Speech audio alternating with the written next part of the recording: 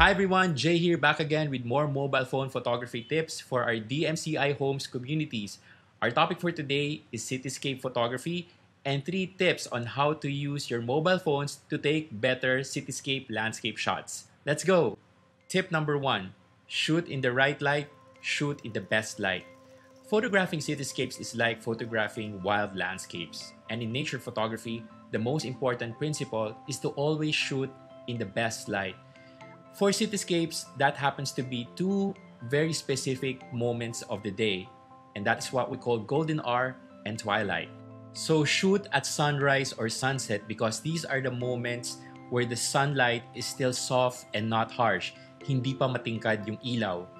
During golden hour, which is the one hour after sunrise or the the last hour before sunset, these are the moments na talagang swabe yung kulay para sa cityscape natin. So kung gusto niyo na talagang appealing yung shots niyo at saka maganda yung kulay, mag-shoot po tayo sa umaga o di kaya sa hapon at wag na wag sa tanghali.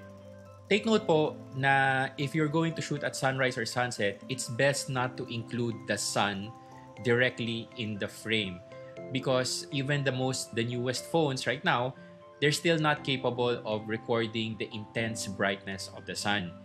Pwede nyo namang isama yung araw sa shot pero hindi pa rin siya kasing ganda katulad nung kung gamit nyo ay talagang DSLR na may mga filters. So, in that regard, I suggest that you compose or you shoot side-lit cityscapes where doon nakikita kung sa yung bagsak ng araw. Instead of shooting directly towards the sun, shoot the part of the cityscape that is receiving the sunlight for best results. The other best moment to photograph cityscapes is what we call blue hour or twilight. In the Philippines, that's usually around 10 minutes after sunset. The reason why we love to shoot in this time is meron na pong ilaw yung mga buildings, naka-on na yung mga ilaw nila, naka-on na rin yung mga street lights. So there's really color, maliwanag po yung ating foreground. And yung warm color na to, complements the blue color of the sky. At this time, hindi pa masyadong madilim, hindi pa talaga totally nighttime. So may konti pang color na blue sa sky. And yung combination na yon ng warm tones on the foreground, on the cityscape, together with the blue, cool tones of the sky. It's very pleasing, very photogenic, and that is why twilight or blue art is one of our favorite times to photograph cityscapes. So that's it for tip number one. Photograph your cityscapes during golden hour and at blue hour or twilight. Tip number two, compose for density. When we are searching for a composition to make, and when we are faced with a typical cityscape scene, it is best to train our cameras, our phones, in areas where there are a lot of tall buildings clustered together.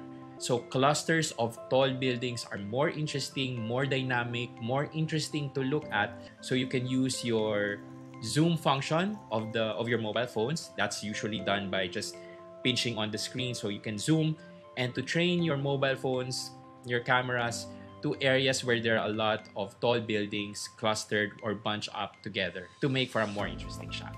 Tip number three, use HDR mode. High dynamic range or HDR mode is a feature wherein our cameras, our phone cameras are able to take multiple shots at different exposure levels and combine all those shots together into one photograph wherein the exposure is balanced.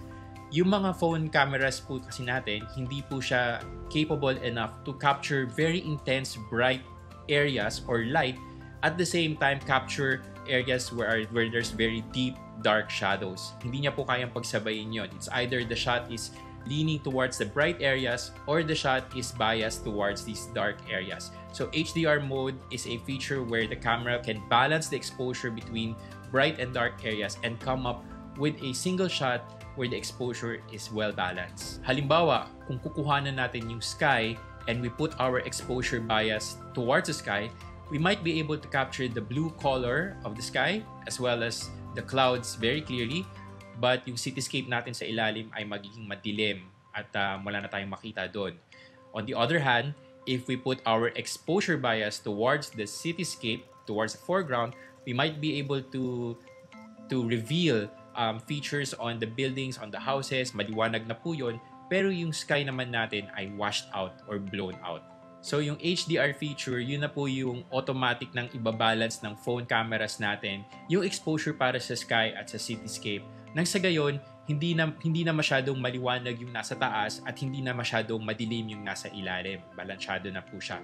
And tulad po ng pag-adjust ng exposure manually, pwede po nating itap yung, yung screen natin, iba't ibang area sa screen natin, habang naka, naka-compose or nakatutok sa cityscape para makuha po natin yung exposure at effect na gusto natin while naka-on yung HDR mode.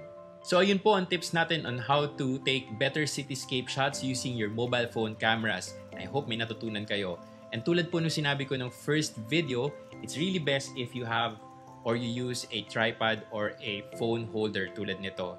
Pag meron po kayong tripod, makakapag long exposure kayo so mas magiging maganda, mas malinaw yung mga shots ninyo kahit na madilim na or during twilight And at the same time, maayos po talaga ninyo yung composition ninyo. Mas magiging stable yung mga shots ninyo, mas magiging sharp.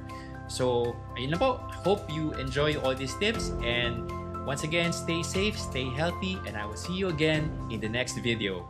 Bye!